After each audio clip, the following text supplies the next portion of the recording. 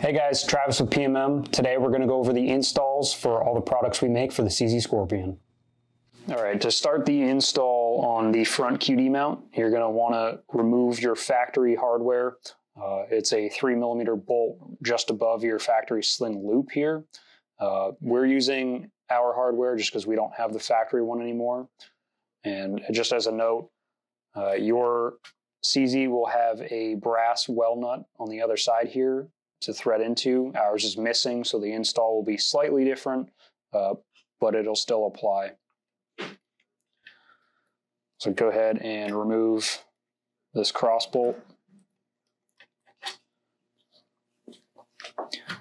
And if you're going to install this as a left-handed shooter, you're going to flip the gun over.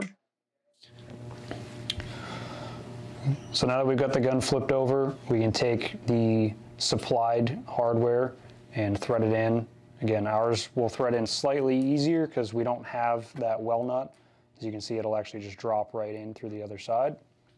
Again, you'll have to thread yours all the way through that brass well nut. Now you can take the QD mount and you can put a dab of Loctite in the threads here. You don't want the Loctite touching the plastic receiver as it will start to eat away at it. You can thread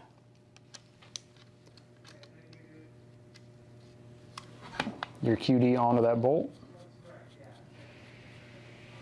And then if you want to make sure it's nice and tight, you can grab your sling or just a loose QD mount and lock it into the actual QD.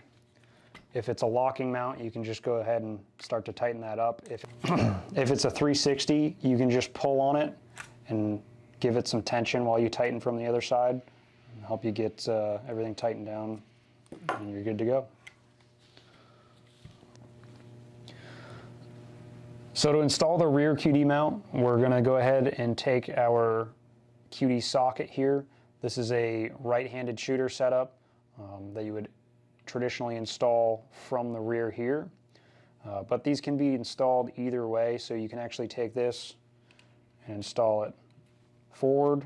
It'll just be canted up and vice versa. You can do that on the other side here, and that'll allow you to fold the factory stock around it without hitting it. But for the install itself, take your QD cup, put it in there, put a dab of Loctite on your bolt in the end plate here. Get it lined up. These can only go on one way because of the way they're machined.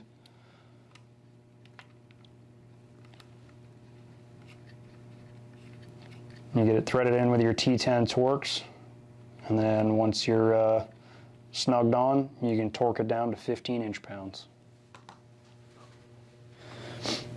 All right, to install our safety selectors or safety delete, um, they will install the same way as the factory ones, so we'll be removing these and reinstalling them. Uh, but the first step is going to be lock your bolt to the rear, and then you can flip the gun over here, and there's the other side of your takedown pin here. I'm going to pull that out, and then your receiver can pop off. And we can move on to pulling these out. All right, now that you have your lower receiver removed, you can go ahead, put the safeties into the fire position, and that will align the hardware with this notch here. You can come in with your one and a half mil Allen key remove the set screw.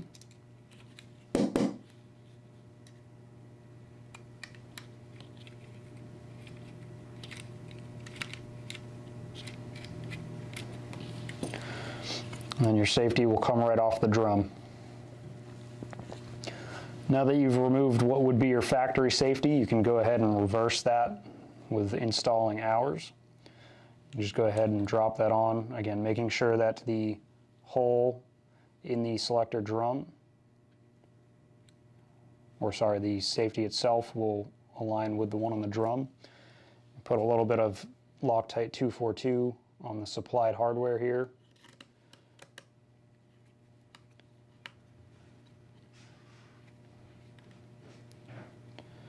Just tighten it down hand tight. You don't need to go very uh, tight on these. There's no torque spec for that. And then make sure you can rotate from fire to safe and you're good to go. All right, and lastly here, we're gonna install our 1913 backplate adapter. So you're gonna either wanna remove your factory stock or brace, or if you don't have one on there, you can just start from here.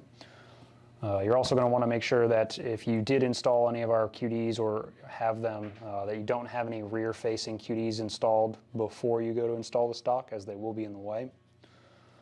But you can simply just take our uh, backplate adapter with the logo up, start to slide it down onto the receiver. It will be a snug fit.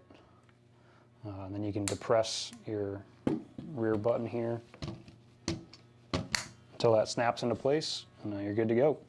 Uh, you can install whatever 1913 brace or stock uh, that you'd like to, uh, to use on this.